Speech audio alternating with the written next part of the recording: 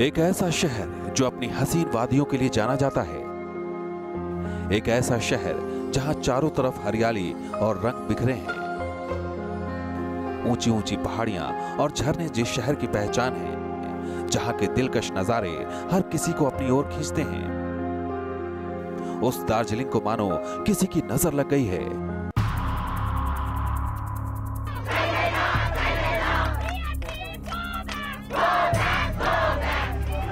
एक चिंगारी से जल उठा दार्जिलिंग। विरोध की आग में झुलसा एक खूबसूरत शहर। भाषा के नाम पर भड़की हिंसा ने यहाँ उथल पुथल मचा दिया है। अब यहाँ पर्यटकों की जगह पुलिस और प्रदर्शनकारी नज़र आ रहे हैं। अमन और शांति के गीत गाने वाली फिजा में नारे गूंज रहे हैं। जहाँ लोगों को सुकून महसूस होता था, अब घुटन होने लगी है। प्रॉब्लम तो क्या बताए आप देख रहा है सब। स्थिति ऐसा है कामकाज नहीं है राशन पानी का बहुत समस्या है। ये गंदा पॉलिटिक्स और कुछ नहीं है। टोटली गंदा पॉलिटिक्स और कुछ नहीं है। सवाल ये है कि आखिर दो हफ्तों से क्यों दहक रहा है दार्जिलिंग? ये महज नाराज़गी का नतीजा है या फिर इसके पीछे है राजनीतिक साजिश? तो सवाल ये है कि ये कौन है जो दार्जिलिंग में आग भड़का रहा है? दार्जिलिंग में जो कुछ भी हो रहा है, उसका जिम्मेदार कौन है? कौन है जो इसके नाम पर राजनीति कर रहा है? दार्जिलिंग में 10 दिनों से हालात बेकाबू हैं। लाख कोशिशें हुई बावजूद लोगों के गुस्सा थमने का नाम नहीं ले रहा है। बारिश के बीच तक लोगों का प्रदर्शन जारी है। ये दो तस्वीरें हम आपको दिखा रहे हैं जो लोगों के गुस्से को साफ़ ज़ाहिर कर रही है। फ़िलहाल इंटरनेट सेवाएँ तक वहाँ पर बाधित कर दी गई हैं। और जहाँ पर टूरिस्टों का हुजूम देखा जाता था, वहाँ पर प्रदर्शनकारियों का हुजूम देखा जाता है। और उन सड़कों पर जहाँ हँसते मुस्कुराते चेहरे दिखते थे, अब दिखता है तो गुस्सा और नारेबाजी। तो क्या दार्जिलिंग की भाषा के बहाने हिंसा भड़काई जा रही है? क्या राजनीतिक साजिशों की वजह से दार्जिलिंग को सुलगाया जा रहा है? और आखिर क्यों सालों से शांतिपूर्वक गोरखालैंड की मांग करने वाले लोग अचानक उग्र हो गए, हिंसक हो गए? क्या सिर्फ़ एक भाषा के नाम पर? हम आपको बताएँगे दार्जिलिंग में हिंसा और हंगामे के पीछे की हकीकत।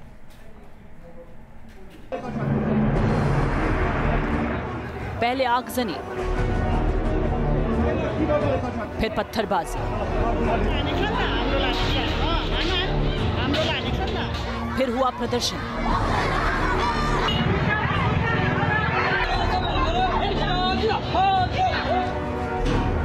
और अब पोस्टर वॉल।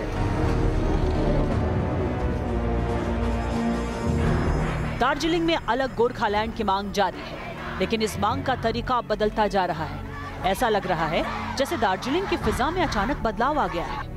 कुछ दिन पहले तक जिस दार्जिलिंग में हंगामा बरपा था, गाड़ियों को आग लगाई जा रही थी। सरकार के विरोध में पुतले फूके जा रहे थे। प्रदर्शनकारी और पुलिस के बीच भिड़ंत हो रही थी। गोरखालैंड के समर्थक पत्थर बरसा रहे थे और पुलिस आँसू गैस के गोले छोड़ रही थी।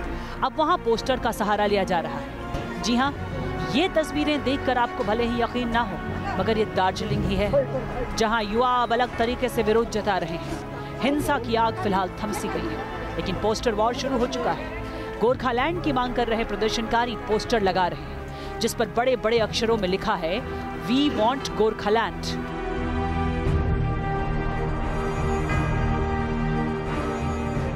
इन युवाओं का मकसद पोस्टर के ज़रिए दार्जिलिंग में रहने वाले गोरखा समुदाय के लोगों के साथ साथ देश भर में अपनी मांग को पहुंचाना है।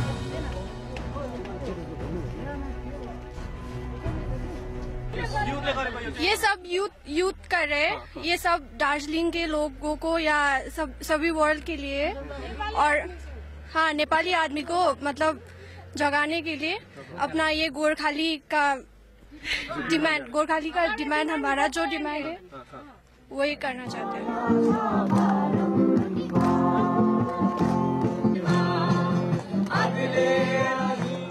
सिर्फ़ पोस्टर ही नहीं गीत संगीत के ज़रिए भी युवा अपना संदेश सत्ता के गलियारों तक पहुँचाने की कोशिश कर रहे हैं। ये तस्वीरें दार्जिलिंग के मॉल रोड की हैं, जहाँ हज़ारों की संख्या में लोग जुटे। इनमें युवाओं के साथ साथ बुज़ुर्ग और महिलाएँ भी शामिल हुई। सभी एक सुर में, सीधे शब्दों में अलग गोरखालैंड राज्य की मांग रख रहे थे।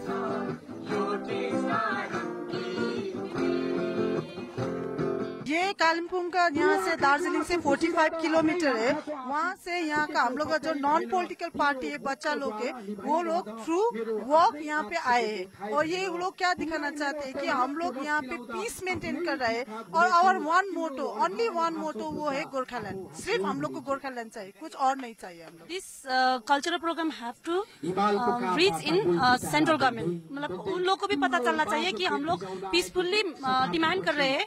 कोई आतंक यहाँ पे नहीं फैला रहा है और जो बंगाल सरकार यहाँ पे आतंक फैला फैला रहा है पर यहाँ पे अभी देख सकते हैं कि कल्चरल प्रोग्राम हम लोग यहाँ पे ऑर्गेनाइज कर रहा है। हालाँकि इस जुलूस के पीछे इन लोगों का एक और मकसद मंगलवार को हुए पुलिस फायरिंग का विरोध जताना भी है। हम ये चाहते हैं कि आप लोग हम जो जाति है हमारी जाति जो कर रहे हैं उसको एक दुख है कि वो उसका दुख है कि हम लोग के कल कल के समय में जो कुछ हुआ उसका दुख है। लेकिन हम लोग जो ये ए, भारत कर रहा है हम लोग जाति ऐसी जाति है कि हम लोग कि एक दूसरे को उठाने वाले दूसरे को मदद करने वाले और हम दूसरे को विश्वास करने वाले लोग हैं कि हम चाहते हैं कि अब हमारे भी एक अलग राज्य हो। और हमारे अपना एक स्टेट हो। गोरखालैंड की मांग की जो आग दार्जिलिंग में जली उसकी झलक दिल्ली में भी दिखाई दे रही है। दिल्ली में गोरखा स्टूडेंट यूनियन के सदस्यों ने झंडों और बैनर के साथ प्रदर्शन किया और दशकों से चले आ रहे गोरखालैंड की मांग को एक बार फिर सरकार के सामने रखने की कोशिश की। ये स्टेट का डिमांड जो है ये 110 साल से चले आ रहा है। 1907 से शुरू होके आ रहा है। तो हमारा यही है कि ना तो हम बंगाल के बंगाल के साथ है ना हम कल्चरली सिमिलर है ना लिंग्विस्टिकली सिमिलर है। सो so, हम जो भी कह रहे हैं कि हम कॉन्स्टिट्यूशनल फ्रेमवर्क में बैठ के आर्टिकल थ्री के हिसाब से हम अपना डिमांड रख रहे हैं। दार्जिलिंग के दामन पर हिंसा की जख्म अभी ताज़ा है लेकिन यहाँ के हालात धीरे धीरे बदलते दिख रहे हैं। उम्मीद की जानी चाहिए कि आने वाले दिनों में दार्जिलिंग फिर हँसी खुशी से गुलजार होगा। Team news nation. पर दार्जिलिंग तभी हँसी खुशी से गुलजार होगा जब पर्यटन वहाँ पर बहाल होगा क्योंकि पर्यटन ही कमाई का ज़रिया है। लेकिन सड़क से लेकर होटल से लेकर रेस्टोरेंट तक जब खामोशी पसरी हो जब पर्यटक ना के बराबर हो और हो भी तो जहाँ तहां कैद हो और ट्रेन के पहिए रुके हुए हों वहाँ पर लोग दार्जिलिंग छोड़कर जाने को मजबूर हैं। बंगाल का ताज कहा जाने वाला दार्जिलिंग इन दिनों सुलग रहा है। देश में बड़े टूरिस्ट प्लेस के तौर पर अपनी अलग पहचान रखने वाले दार्जिलिंग में इन दिनों पर्यटन का बुरा हाल है। जिन सड़कों पर पर्यटक घूमते नज़र आते थे, वहाँ अब या तो सन्नाटा है या फिर सुरक्षा बल के जवान तैनात हैं। होटल, रेस्तरा में खामोशी छाई हुई है। ट्रेन और गाड़ियों के पहिए थमे हुए हैं। ये तस्वीरें इस बात की गवाह हैं कि किस तरह दार्जिलिंग अपने बुरे दौर से गुजर रहा है। दरअसल अलग गोरखालैंड स्टेट की मांग को लेकर गोरखा जनमुक्ति मोर्चा की बेमियादी हड़ताल अभी भी जारी है। करीब हफ़्ते भर से दार्जिलिंग की तमाम दुकानों में ताले लगे हुए हैं। गाड़ियों की आवाजाही बंद है, जिसका नतीजा ये हुआ है कि जनजीवन अस्त व्यस्त हो गया है। खाने पीने की चीज़ों की किल्लत हो गई है। रोज़मर्रा के सामानों की कीमतें आसमान छू रही हैं, जिसकी वजह से दार्जिलिंग से लोग पलायन कर रहे हैं। कुछ तो है लेकिन या चावल, दाल, आटा तो नहीं मिलेगा ना, खाएँगे क्या? इसलिए भागना पड़ता है। और तो कुछ नहीं हो पाई काम करेंगे क्या? काम तो बंद हो गया। स्थिति ऐसा है कामकाज नहीं है, राशन पानी का बहुत समस्या है, खाने पीने का। मट्टी का तेल उल नहीं मिलता है। क्या चीज़ से बनाएँगे हम लोग? क्या चीज़ से खाएँगे? भूखे कितना दिन रहेगा आदमी? इस मजबूर की वजह से जाना पड़ रहा है अभी। ऐसा नहीं कि सिर्फ़ बाहर से रोज़गार की तलाश में यहाँ आए लोगों को ही तकलीफें हैं। मुश्किलें दार्जिलिंग के स्थानीय निवासी भी झेल रहे हैं, मगर तमाम परेशानियों के बीच वो अपनी मांग पर अड़े हैं। पब्लिक का डिमांड है। खाली मेरा सिवाय एक एक का डिमांड है। सबका डिमांड है। ये हिल में जिस प्रकार से एडमिनिस्ट्रेशन हो रहा है, इसीलिए सब लोग को गोरखालैंड का पक्ष में। ये बहुत पुराना है तो सेंचुरी पुराना डिमांड है।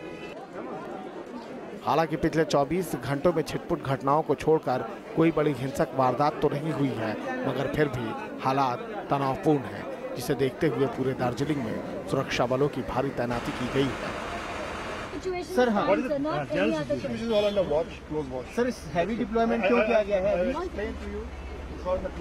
Is there any new forces are coming सवाल ये है कि दार्जिलिंग में भड़की इस आग के लिए जिम्मेदार कौन है?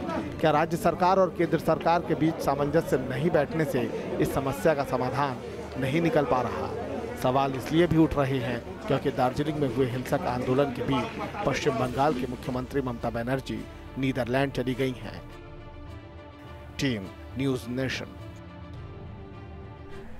पर माना यह जा रहा है कि दार्जिलिंग के आज जो हालात हुए हैं, राजनीति उसके पीछे वजह है। दरअसल शहर में गोरखा जनमुक्ति मोर्चा का दबदबा है। सूबे में ममता बनर्जी की सरकार का दबदबा है और केंद्र में बीजेपी की सरकार का दबदबा है। ऐसे में दार्जिलिंग की कौन सोच रहा है?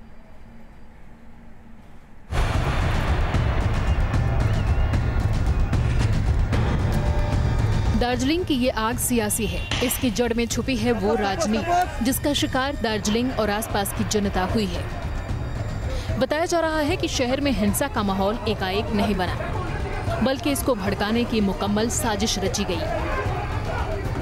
दरअसल अलग गोरखालैंड की मांग नई नहीं, बल्कि ये कई साल पहले से उठती रही है। लेकिन इस मांग को लेकर दार्जिलिंग में पहले कभी हिंसा नहीं भड़की। ये पहली बार है जब यहाँ हालात बेकाबू हुए हैं। ऐसे में सवाल ये उठता है कि क्या दो हफ़्ते से बंद और आगजनी का जो सिलसिला यहाँ चल रहा है, उसकी पटकथा पहले से लिखी जा चुकी थी। आपको बता दें कि हिंसा के पीछे कई कारणों को जिम्मेदार बताया जा रहा है। पहला कारण 5 जून को ममता बनर्जी ने जीटीए यानी गोरखा टेरिटोरियल एडमिनिस्ट्रेशन में वित्तीय गड़बड़ियों की बात कही थी। गोरखा जनमुक्ति मोर्चा पर गड़बड़ियों का आरोप लगा था, जिसके बाद सरकार ने जीटीए के स्पेशल ऑडिट का आदेश दिया था। ऑडिट के आदेश का जीजेएम ने विरोध किया था। दूसरा सबसे बड़ा कारण है बांग्ला भाषा। मई 2017 में ममता सरकार ने राज्य के सभी स्कूलों में दसवीं तक बांग्ला भाषा को अनिवार्य कर दिया था, जिसका विरोध गोरखा जनमुक्ति मोर्चा ने किया था। हालाँकि विरोध के बाद ममता सरकार ने चुनिंदा हिल स्टेशन में बांग्ला की अनिवार्यता खत्म करने का आदेश दिया था।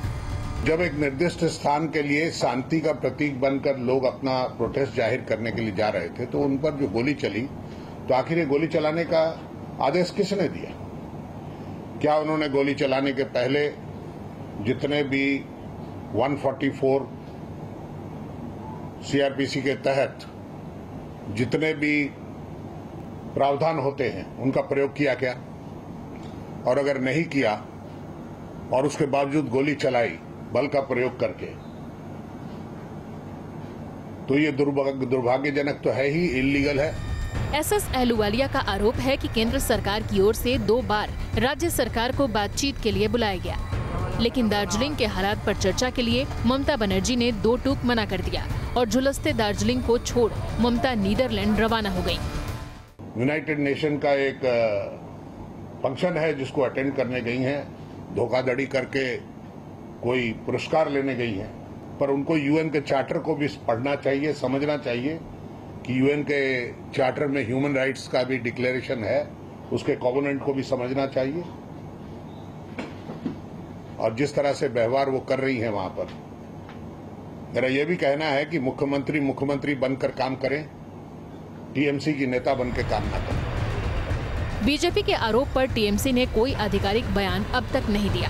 इस बीच दार्जिलिंग के हालात बद से बदतर होते गए सीआरपीएफ की तैनाती की गई है लेकिन हिंसा अब भी रुकने का नाम नहीं ले रही देवजानी चौबे न्यूज़ नेशन दार्जिलिंग तो 1980 में पहली बार सुभाष घिसिंग जिन्होंने गोरखालैंड की कल्पना की वैसे कल्पना कभी हकीकत की शक्ल तो अख्तियार नहीं कर पाई लेकिन इसको लेकर तब से लेकर अब तक आंदोलन लगातार हो रहे हैं